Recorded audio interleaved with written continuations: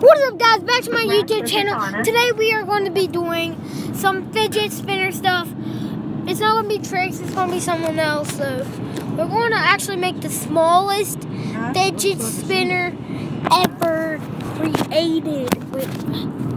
Okay, so here we go. There it is. It's only a bearing and finger pads. That's all it really is. And after that,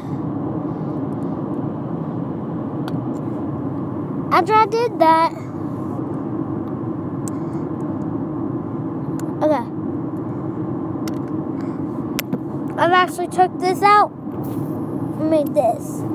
So yeah, and um, it is so much fun making this stuff.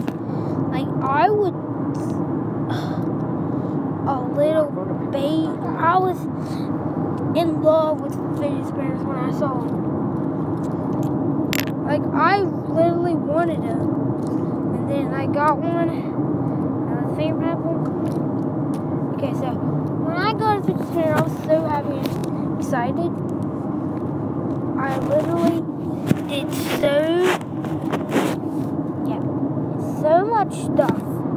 And then I, when I got the fidget spinner, I was playing with it. So, and then I found out, right, balance, got the balance, the fidget spinner. I'm balancing the smallest fidget spinner on myself. Did Dee Dee call you or did she call you? Woo!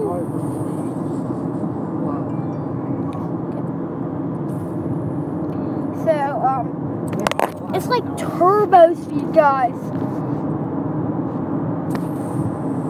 I don't know if you guys hear that, but yeah, you guys can hear that, but it's so much fun. Just pop this right back in. So that's about that's about it for the world's smallest fidget spinner. I will be doing more fidget spinner stuff. Just uh, I'll be in the next vlog.